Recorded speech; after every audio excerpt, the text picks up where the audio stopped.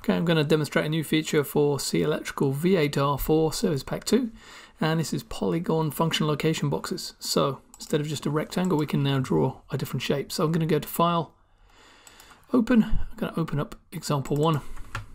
So this is uh, an example project provided by IGE+XAO when you first install it. Now at the moment, function location is not turned on. So if I look at a component on here, I can see that this has uh, only a product. So I'm just going to right click a project level, go into the properties, and there's a new tab now for function location. It's been separated out of general. I'm going to enable function location, and I'm going to say put it as been a dashed line to indicate that. I can click on frame setup and check the font. I'm going to put it as being inside. Click on OK and OK. So now every component has the possibility of a function location. I'm just going to extend the page information and for each page I'm just going to put this as being P1 to indicate this is panel 1. I'm going to click on the second one and do the same thing. The function I'm going to set to P1. So on the first page, if we take this example down here, this motor might not actually be in the panel. Under electrical, the previous command was to draw a rectangle around this. So I can draw a rectangle around this device and I can say that this is perhaps P1 and it's a field device. I'm going to rename the components inside of there and I'm just going to use F6 just to pick that text and move it down to this bottom corner here.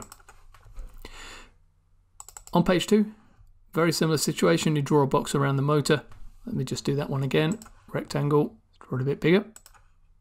It supports a drag function as well. So P1 dot field. Now in this situation up here on page two, I've got two push buttons which might be in a different area, might be on the door, whereas everything else could be on the mounting plate. So to highlight this, I could draw a box around each one, or I could now use the polygon command, click on polygon, and start drawing the axes of the polygon. So I'm going to draw across the top, down and back, and I'm going to loop around this component so I don't include that in my box. So I have one area which I'm using to define this. I'm going to put this as P1 point door.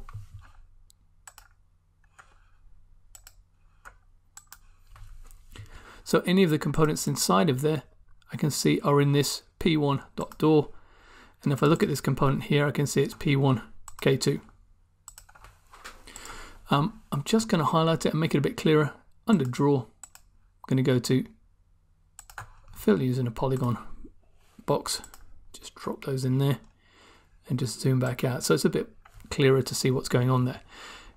In the graphical list, because I've got functional location turned on now, I can just right click and say I want to generate a bill of materials per function location. When I go into the uh, bill of materials function location, I can see each of the areas is output with a bill of materials with quantified output for each area that I specified in the project.